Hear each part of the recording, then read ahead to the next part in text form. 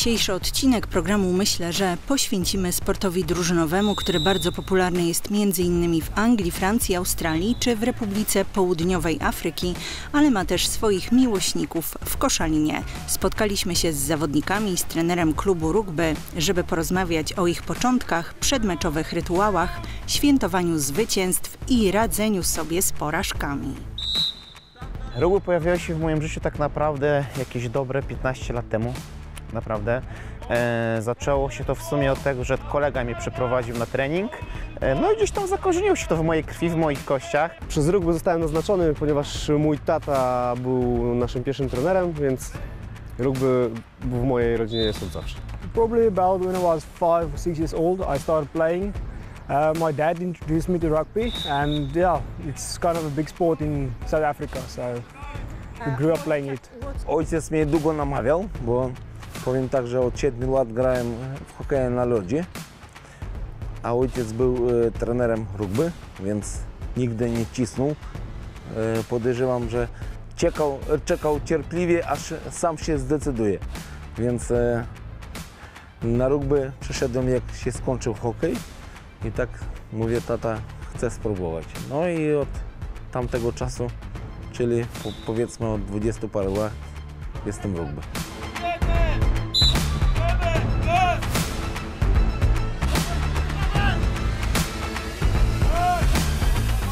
Pamiętam, jak podawaliśmy piłkę na boisku przed blokiem, także to jest jakby takie moje pierwsze wspomnienie, a tak jak mówię, piłka, rugby, piłka do rugby w moim domu była zawsze. To fajne emocje, troszkę wystraszone jak to każde dziecko, bo jak e, każdemu w rugby się kojarzy, że to, to cię zabiją, połamią i tak dalej, że będzie to jest, rugby to jest coś e, strasznie ciężkiego. Nie, tak naprawdę rugby wychowuje człowieka jak to w życiu. Jak jesteś przygotowany, owszem, jak w życiu, będzie ciężko, będzie czasami boleśnie, ale jak osiągniesz sukces, no to będzie wspaniale. Pamiętam z trzeciego. Szczerze? E, woda w kolanie. Ale to przypadek, przypadek, gdzieś tam zderzenie się z kolegą, e, no i tak to było. Ale jeżeli mam pamiętać bardzo mocno pozytywne rzeczy, to na pewno to, że gdzieś tam rugby nauczyło mnie takiego szanowania każdego człowieka. Czy to jest człowiek starszy, czy to jest człowiek młodszy, czy to jest człowiek e, wagowy większy ode mnie, czy mniejszy ode mnie. Naprawdę to jest bardzo fajny sport dla każdego i uważam, że każdy się w tym sporcie odnajdzie. E, Pamiętam dużo pozytywnych rzeczy, dużo tam spotkań z kolegami. Tutaj na początku zaczynaliśmy, to było nas około 40. Naprawdę, więc mówię, no dużo takich emocji bardzo pozytywnych. Więcej pozytywnych niż negatywnych, o tak powiem. It's a lot of fun being young, holding a big ball, running around, trying not to get tackled, and sometimes being tackled even is fun, and just being able to smash a guy if you can.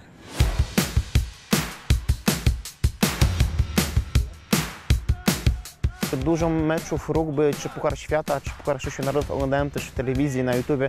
Gdzieś tam też się tym interesowałem przed przyjściem tutaj na trening. Aczkolwiek tak naprawdę takie podstawy zajęły mi może półtora miesiąca maksymalnie. Jest to bardzo prosta gra. Mówi się, że niby jest ciężka, ale tak naprawdę wystarczy tylko zakorzenić podanie, e, no i skupić się na tym, że te podanie musi iść do tyłu, nie do przodu, nie jak w futbolu amerykańskim, więc jest to naprawdę taka gra, gdzie każdy jest w stanie się nauczyć maksymalnie w półtora miesiąca. Na pierwszy rzut oka na pewno nie jest to, nie jest to oczywiste, e, aczkolwiek e, kilka podstawowych zasad, e, które trzeba wiedzieć, jeżeli się oglądamy rugby, że podajemy piłkę tylko do tyłu, e, no i łapiemy zawodnika tylko z piłką.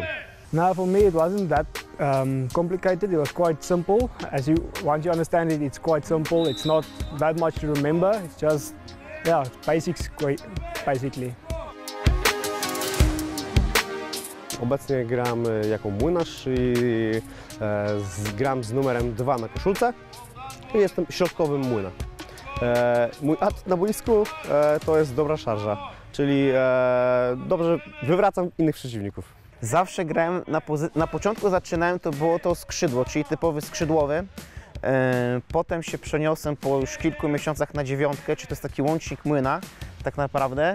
E, No jest to pozycja takiego człowieka, który waży tam do 85 kg, jest szybki, dynamiczny i zaczyna po prostu tą piłkę wprowadzać do ataku. I zawodnicy ataku się podłączają, przy każdym przegrupowaniu ta dziewiątka tą piłkę zabiera z tego przegrupowania i dalej gra do ataku tak naprawdę. Więc to była ta pozycja. Teraz ze względu na moją wagę, na to, że mówię, nie trenowałem, przytyło, mi się z 8-9 kg i trener ostatnio powiedział Sebastian, młynarz, czyli do młyna. Um, I play scrum off, it's number nine, or in sevens, it's sweeper, number four. And I'd say my strong points probably I'm fast and I got a great handoff. Trener grał akurat na pozycję rozgrywającego, czyli był mózgiem zespołu. Gdzieś tam musiałem to wszystko organizowywać. Tak samo e, miałem e, przyjemność i zaszedł grać w kadrze polskiej, więc wspominam te czasy bardzo dobrze. I don't have a nickname on field at the, at the moment. Ksywkę. Właśnie o to zawsze się martwiłem, ale ksywki nigdy nie miałem. Mimo, że tak już teraz z wiekiem tak nabrałem troszkę kilogramów i można było pożartować z tym, ale, ale jakoś, jakoś cały czas Jura, Juri, więc tej ksywki nigdy nie dostałem. Może troszkę żałuję.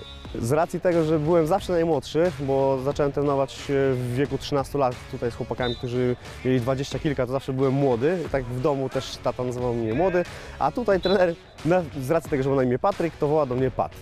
Mama. Mama zespołu. Jako całość, tak naprawdę. A wziąłeś to stąd, że po prostu, no mówię, na każdym treningu jestem, w każdym gdzieś tam turnieju uczestniczę, nawet ze względu na to, czy mam kontuzję, czy nie. E, opiekuję się chłopakami, jakby to byli moje dzieci, dlatego mama.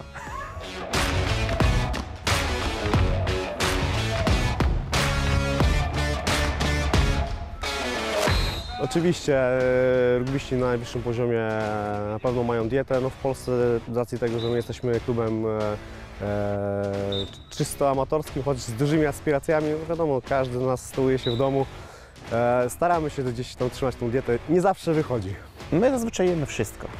Nie skupiamy się tam na jakichś, nie wiem, mm, mikro, makroelementach, w węglowodanach, białkach, po prostu jemy wszystko. Jemy wszystko, tutaj wszystko wypalamy, zostawiamy tutaj. Um, I would say that's up to you. Some players are on diets, others eat what they want, and yeah, it's completely up to you. And probably at, depends on the level you play as- at as well. If you have to be on a diet or, but at this moment, no. What about you? No, I'm on no, no diet. I eat what I want. 30 kg temu, no to musiałem być szybki, zwinny i musiałem troszkę e, wszystko szybciej reagować na to. Teraz już zrobiłem się leniwy, jak to człowiek w życiu. No i troszkę mi to przeszkadza, ale cały czas żona mnie ciśnie, więc myślę, że zwalczę to.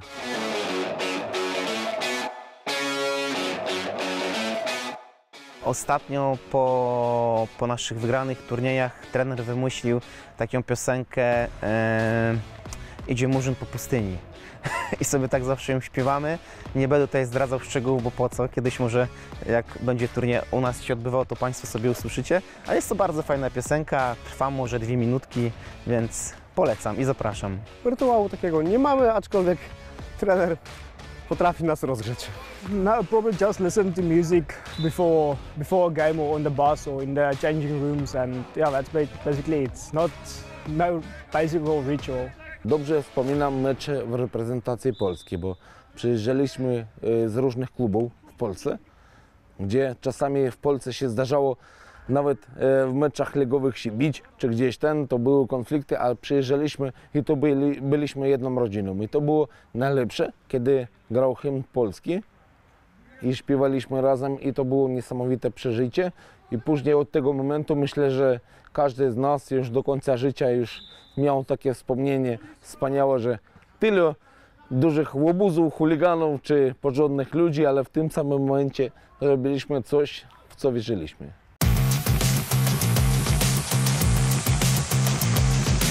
Zazwyczaj świętowanie się odbywa bardzo spokojnie. To nie jest jakieś takie huczne świętowanie. Jeżeli wracamy z dalekiej podróży, to zazwyczaj to się odbywa w autokarze. Eee, I tyle, ale jest bardzo fajnie, naprawdę. Pomidor. It depends if it's a easy game, it's just you don't really celebrate, but if it's a, a final or something, it's quite a celebration at the end. Run on the field, scream, some people cry, and high five and hugs and all around. Rugby to trzecia połowa to jest bardzo znana, tego, że rugbyści potrafią tam gdzieś yy, powariować, że tak powiem. Ale akurat tu w Koszalinie podoba mi się, że chłopaki potrafią znaleźć tą granicę, gdzie jest granica tego wariactwa, ale już jest stop i jest ok. Powiem szczerze, to chyba każdy sobie, każdy zawodnik radzi sobie na, na swój sposób. No, Wiadomo, nie jest to łatwe, ale rugby właśnie uczy tego, żeby podnieść się po, po upadku i trzeba pozbierać się, zapomnieć i jutro też jest dzień i kolejny mecz.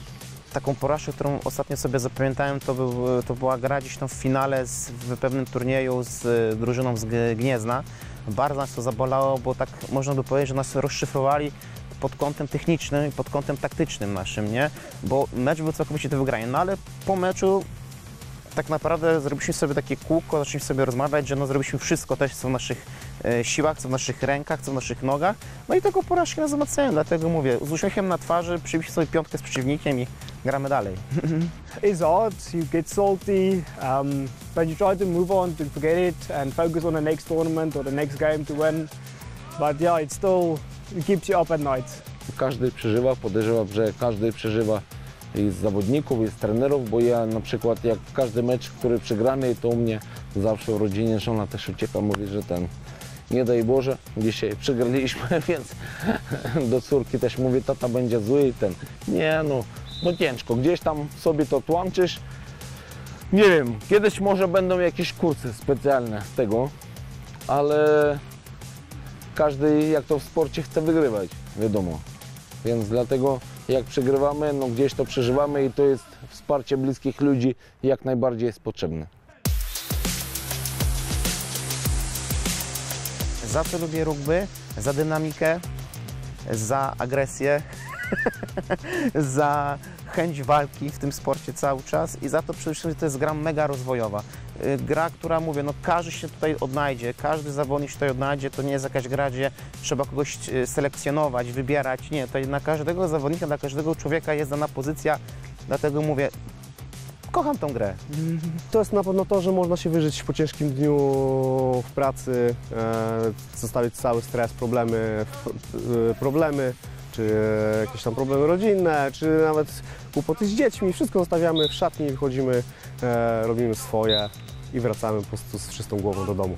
I just I love it because it's physical. It's very physical, and you can you can be yourself. You can do what you want. You can enjoy yourself. It keeps your mind off things, and it's fun sometimes if you win. Kocham rugby dlatego, że e, dzięki niemu żyję, tak powiem. Żyję, poznaję ludzi, e, latam po całym świecie.